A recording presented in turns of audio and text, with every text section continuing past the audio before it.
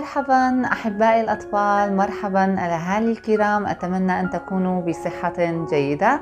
آه، أنا اسمي ميس من EarlyON اليوم سنقوم بقراءة قصة جديدة وهي بعنوان الدببه الأخرى. آه، سأريكم القصة. هذه هي القصة. هذه القصة هي من آه، كتابة ورسوم مايكل تومسون. هيا نستمع للقصة مع بعضنا البعض. عنوان القصة الدببة الأخرى. تحب عائلة الكوالا تسميتها دببة الكوالا فقط. ولكنهم فوجئوا مفاجأة كبيرة عند وصول دببة آخرين. جاءت دببة الباندا أولا. قال الأب كوالا متذمرا أنا لا أحب شكل آذانهم. قالت الأم كوالا حزينة أو أحذيتهم انظروا إلى هذه الأحذية. قالت صغار دببة الكوالا مبتسمين ولكننا نحب طعامهم إنه طعام لذيذ. ثم جاءت بعدهم الدببة البيض. قال الأب كوالا غاضبا إنني لا أحب شكل مخالبهم. وقالت الأم كوالا متذمرة أو معاطفهم إنها ليست جميلة. قال صغار دببة الكوالا ضاحكين ولكننا نحب مرحهم إنهم مرحون جدا. ثم جاء ثالث الوافدين الدببة السود.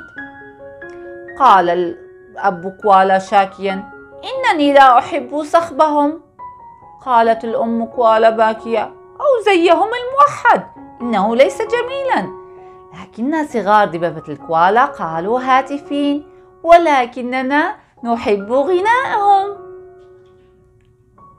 ثم جاءت الدببة البنية. قال الأب كوالا ساخرا إنني لا أحب شكل أسنانهم. قالت الأم كوالا كشرة؟ وهذه القبعات. قال صغار الدبب الكوالا ولكننا نحب الاستماع لقصصهم. ثم جاء آخر الوافدين دببة الشمس. قال الأب كوالا حزينا إنني لا أحب دراجاتهم.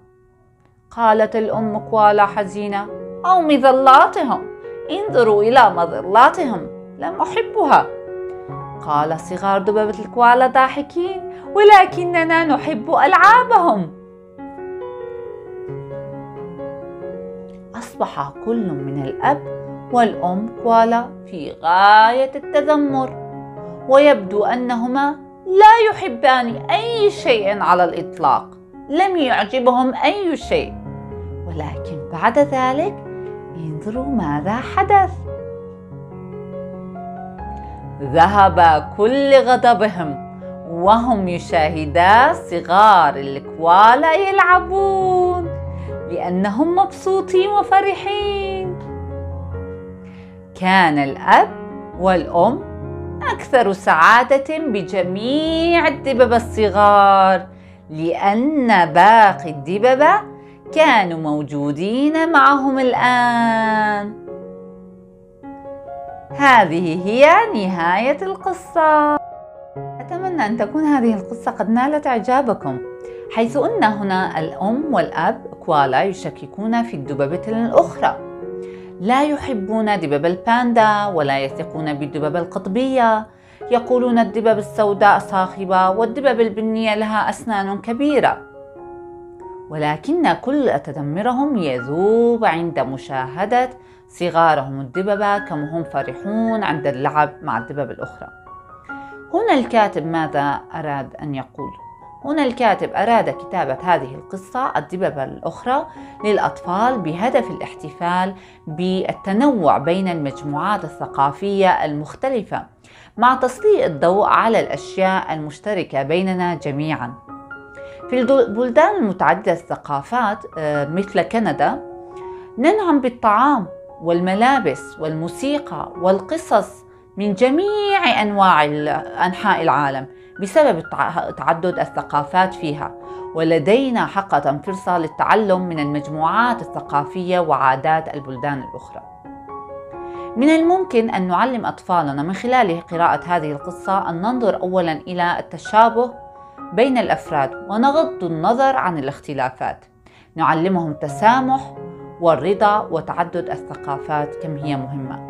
فإنها حقا إنها قصة رائعة عن التسامح وقبول الآخر. أتمنى أن تكون هذه القصة قد نالت إعجابكم وإلى اللقاء.